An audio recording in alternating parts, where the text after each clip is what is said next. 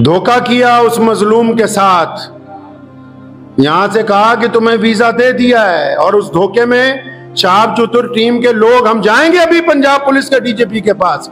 जिन्होंने धोखा दिया, वो ये ना समझे कि वो बख्शे जाएँगे।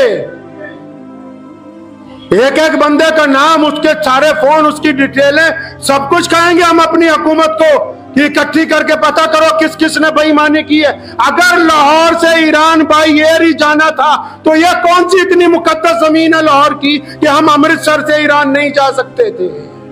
अस्सलाम वालेकुम दोस्तों, कैसे हो? उम्मीद है कि सब खैरियत से होंगे। अल्लाह आप लोगों को ऐसे ही खुश रखे। पाकिस्तानी हुकूमत ने फिर शिहाब भाई को धोखा दे दिया।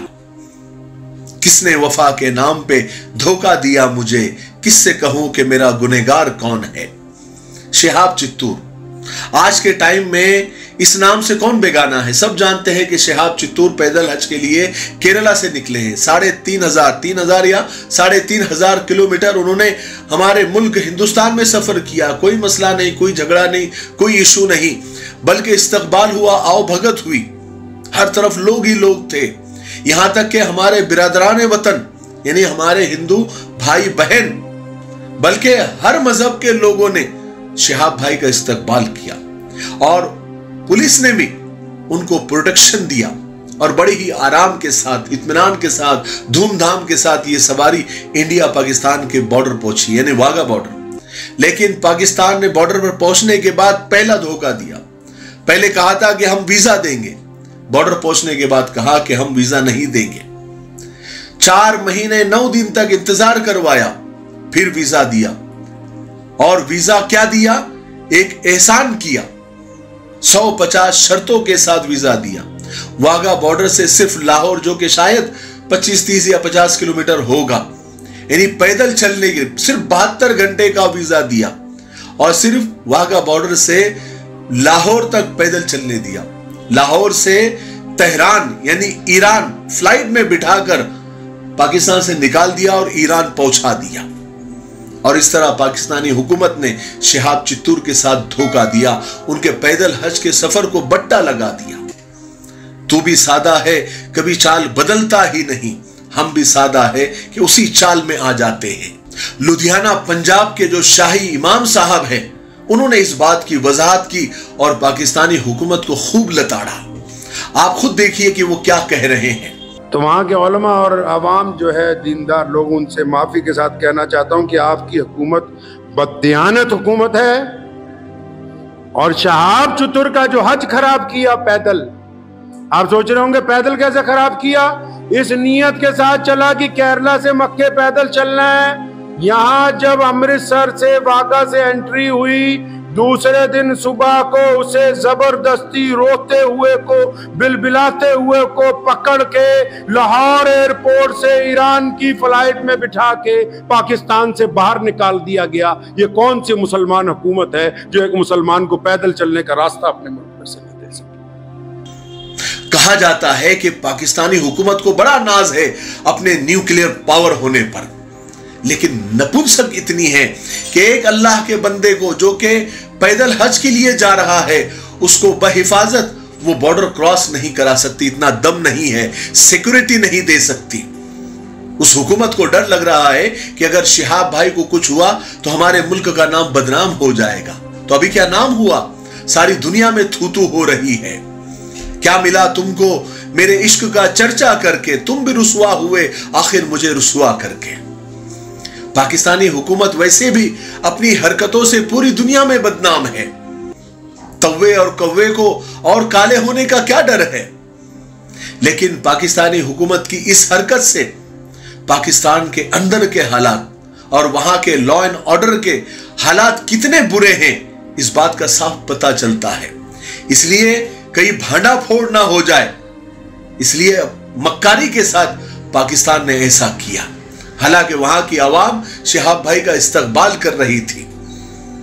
कहा जा रहा है कि शहाब भाई को जब फ़्लाइट में बिठाया जा रहा है, जा रहा था तो वो रो रहे थे। और क्यों ना रोए?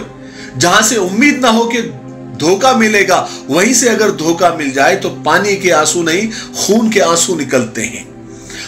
सिर्फ़ शहाब भाई को नहीं, हम सबको ये यकीन था कि पाकिस्तान जो कि मुसलमानों की हुकूमत है वो शहाब भाई के साथ, एक पैदल हज के, शहाब भाई के साथ तो छोड़िए, एक पैदल हाजी के लिए वो कभी ऐसी मक्कारी नहीं करेगा। लेकिन कहते ना कि चोर चोरी से जाता हेरा फेरी से नहीं जाता। तकमीली तलबीना, ताकत, सेहत और शिफा के लिए सुन्नत और तिब्बे नबवी का बेहतरीन नुस्खा। नाजरीन, क्या आप भी खुशहाल मालदारों की तरह कामयाब बिज़नेस करके हज़ारों और लाखों रुपए कमाना चाहते हैं? अगर आपकी हाँ है तो आज ही से अपने इलाके में तकमीली तलबीना का आसान बिज़नेस करना शुरू करें और चंद ही महीनों में कामयाब बिजनेसमैन बनने के तरीके, बेहतरीन तजुर्बों के साथ सीखें। बिजनेसमैन बनने का ये मौका कहीं आपके भी हाथ से चला ना जाए, इसलिए अभी हमसे रब्ता करें। नौ आठ नौ ज़ीरो नौ छह तीन सात पाँच सात, Takmili food products private limited Malegaon, India. हालाँकि ईरान में शहाब भाई का सफ़र अभी जारी है, लेकिन कठिनाइयाँ बहुत है, क्योंकि ईरान के हालात भी अभी कुछ ठीक नहीं है। वहाँ पर भी हिजाब और पर्दे को लेकर हंगामा बरपा है। दो चार लोग एक जगह जमा हो जाते हैं तो उन्हें जेलों में भेजा जा रहा है। अगर शहाब भाई ईरान में पैदल चलते हैं और वहाँ भी ऐसा कुछ होता है तो मसाइल खड़े हो सकते हैं। बहुत कठिन है डगर पनघट की। लेकिन शहाब भाई के अज्म इरादे और नीयत के सामने इनशा हमें अल्लाह से उम्मीद है कि सारे मसाइल घुटने टेक देंगे। हम शहाब भाई से यही कहना चाहते हैं कि तुम दिए बाद मुखालिफ से न घबरा ए उकाब, ये तो चलती है तुझे ऊँचा उड़ाने के लिए। हम दुआ करते हैं कि शहाब भाई का सफ़र अमन अमान के साथ जारी रहे। और अब कोई मसला ना आए, वो खैरियत के साथ अल्लाह के घर पहुँचे और हाजी बनकर ही वापस आए। और उनका ये सफ़र अल्लाह ताला कबूल फरमाए और आसान फरमाए।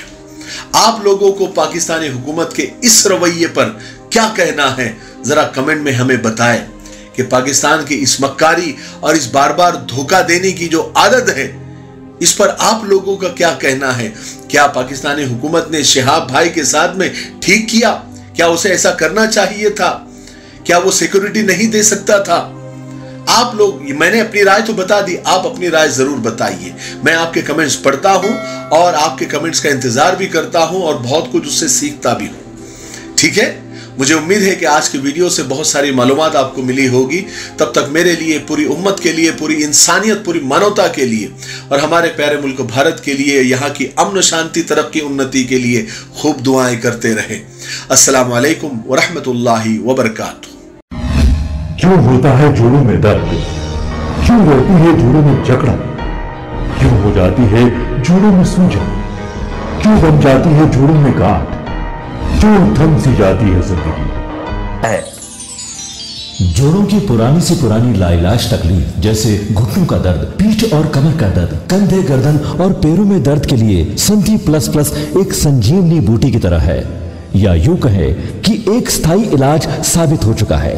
लाखों लोग इसे अपना चुके हैं। और दर्द पर विजय प्राप्त कर चुके हैं। जब हम नियमित रूप से संधि प्लस प्लस से मालिश करते हैं तो त्वचा इसे तुरंत ऑब्ज़र्व करके जोड़ों के सूक्ष्मतम अवस्था में पहुँचा देती है, जिससे जोड़ों में ब्लड का सर्कुलेशन बढ़ जाता है और जोड़ों के मांसपेशियों में मजबूती आती है। आंतरिक सूजन समाप्त हो जाती है, जिससे दर्द में आराम तो मिलता ही है, साथ ही साथ जोड़ों में नई शक्ति भी आती है। हमारे ये प्रोडक्ट ना कि किसी बाज़ार में मिलता है और ना ही मेडिकल शॉप पे। इसलिए इसे पाने के लिए अभी स्क्रीन के नंबरों पर कॉल करें और ऑर्डर करें।